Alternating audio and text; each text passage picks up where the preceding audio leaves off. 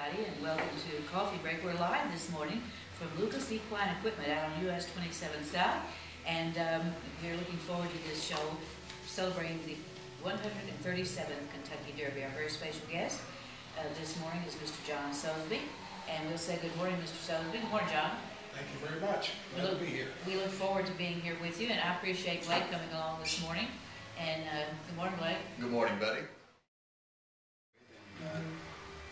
And you I understand that's your favorite, favorite. Yes, ma'am. Yeah, he's my all-time favorite. Been a lot of favorites. And a You lot were of- very close to Secretariat. Well, you know, we had him there at Claiborne, you know, from, from the time at, at, you know, the end of his three-year-old year to, till his death in eighty-nine. And, um, uh, the movie, you know, it brought him through his racing career as a three-year-old. Was the movie pretty true to life? Uh, it was about a housewife who became a corporate manager in a man's world But- and would not accept no for an answer. But was it, do you, in your opinion, was it true to life? Yes, yes, up to the point, uh, you know, at the end of his racing career. Because you, you were a, in a position to know about that. You- Yes. And, and give us a little bit about your background.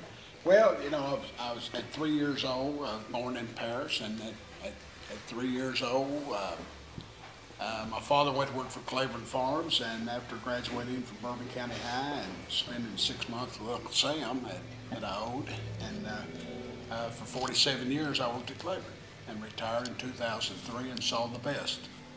And Secretariat was the most beautiful animal I ever saw, and I mean, he knew it. He was he was, one He of was aware of that. He was a, the way you call him, a freak, and probably, maybe he was, but uh, he was the man. Has there been Um, we are here, as we said, at Lucas Equine Equipment. We're going to uh, talk now to Nick Thornton, who's the sales manager. And as I was talking to Nick uh, during the break, one of the things I found so fascinating is that you, you can't tell all your clients because some of them are very famous people. That's correct, Betty. Um, some people prefer an- anonymity, and uh, uh, we respect that highly. And And uh, it's, it's, I think it's just fascinating, of course, the people that you meet and the, uh, the, it's a worldwide thing that you do here. And these are beautiful, beautiful doors, but there are, what, different, oh, so many different kinds, depending on the horse? well, now the horse doesn't have anything to do with it. Really. You don't, you don't ask the horse, Nick. the horse really doesn't care. He's going to love it either way. Uh-huh. Um, that that's not totally true. The, the horse is like air. And uh, we we create products that give them maximum airflow when the owners want to give them that opportunity. what makes your product when you're uh, presenting it? You're the sales manager here at Lee, is that That's correct? correct. Uh, when you're presenting your product, uh, is it safety that you're all promoting when uh, you're presenting something to a potential client? Safety is number one. We, we don't start with the way it looks, we start with the way it functions. And we want it to fit right, we want it to be strong, uh, we want to build it once so that, you know, the money that somebody's spending with us, it, it's a good purchase and it has value for them and safety for the horse. And uh, this time of year is a pretty exciting year, I bet, for you guys, because I'm sure you've done some work for some of the uh, potential runners in the Derby. I, I don't know if you're quite familiar with any of the farms that have entries in it. I'm, I'm pretty familiar. We do a lot of work for the breeders um, and trainers. You know, there are a lot of names. There could be three, four, or five people behind a single horse that we have a relationship with in some way, shape, or form. And and what the Derby does for us every year is create a uh, a sense of panic because everybody's getting ready to have people come into their farms, and there's always a last minute thing. So. It, it just, you know, another time of year to, to have fun with what we Yeah, do. Tell people who or maybe not be familiar with Lucas Equine what you do. Well, we don't actually build the horse barns, but we outfit the barns for safe housing of the horses. So uh, we fill all the holes, so to speak, the stalls uh, that they live in, the doors that they walk in and out of every day, the windows that give them air, uh, things like that. Mostly steel equipment, and some of it is wood as well. And we have some samples here in your show, and they're just simply beautiful. They're just beautiful. Now, I understand this is not just uh, the United States, that you're all over the world. That's correct. We actually had. Um, I heard you talking about Sunday Silence earlier. He was at a farm in Japan that we actually did work for, and uh, to answer the question, he passed in 2002, and and was actually the leading sire from 1995 until 2007 in Japan. Although he passed in 2002, so interesting story there.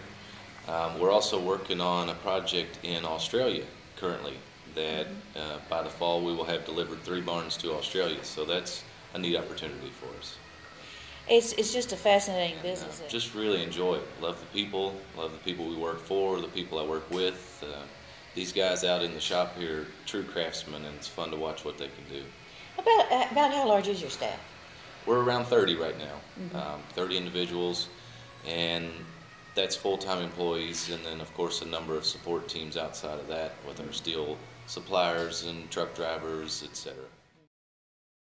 looking at all the horses, I'm gonna have to go with uh, Arch, Arch, Arch, You're picking Archarcharch.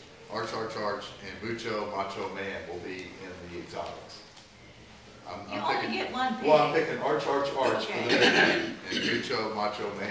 Okay, I want to Will see be who, on who board Nick, somewhere. Well, I, I have a, a kind of a special place for a Mucho Macho Man. Uh, quick story, that horse was supposedly born dead in the field. And uh, the owner rubbed the horse and, and kind of gave up on it, walked away, and he jumped up and took off sprinting. He didn't even walk, he didn't, uh, he didn't stumble around, just took off running. So, you know, he's, he's got a big heart in him, obviously, but I, I, if I had to take a pick, it's going to be dialed in. Uh, three owners there, AP Indy background, I like that horse. Okay, and, um, I'm looking at the hats. I, I love, I love horses, I love animals, I love to watch it, but I, I, you know, So I really don't have a pick. Betty picks Pants on Fire. No, Betty, Betty's going with John. What's, what's John's pick? Well, I like what Nick picked there, I like Doll, man. Okay. Zito, and he, he- he's been there before.